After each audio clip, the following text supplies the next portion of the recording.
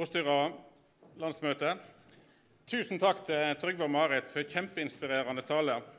D-vitaminet kommer som eh, sagt ifra, eller som alle vet, fra sola. Men eh, jeg følte at eh, Trygve og Marit i dag var D-vitamin intravenøst innført.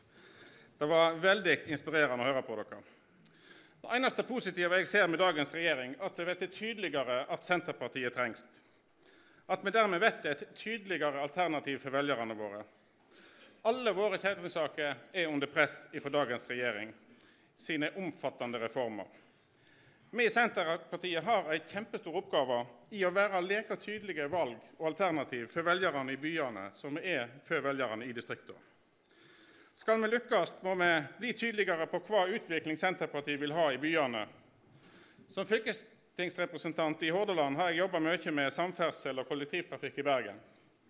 Der vi har vært tydelige på å prioritere kollektiv, sykkel og gange framfor en økt bilbruk.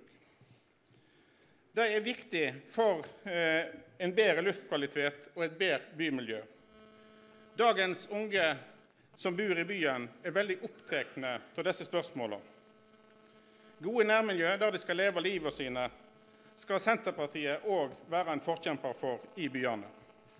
Vi må løfte tydeligere fram den grønne profilen til partiet og sette miljø på dagsorden, sånn som eh, Marit helt tydelig var inne på.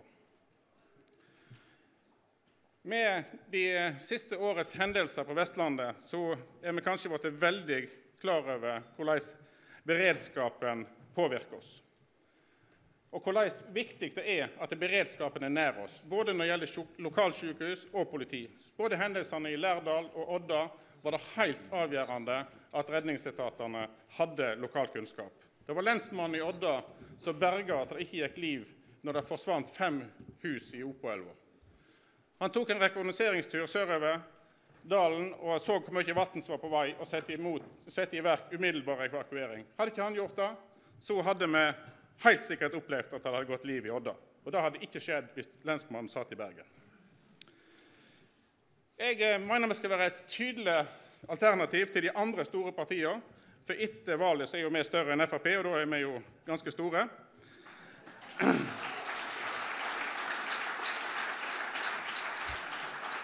Da er vi tydelige, og vi prioriterer velferd for folk flest. Da må kommunene styrkes, for det er der velferden blir fordelt. Takk.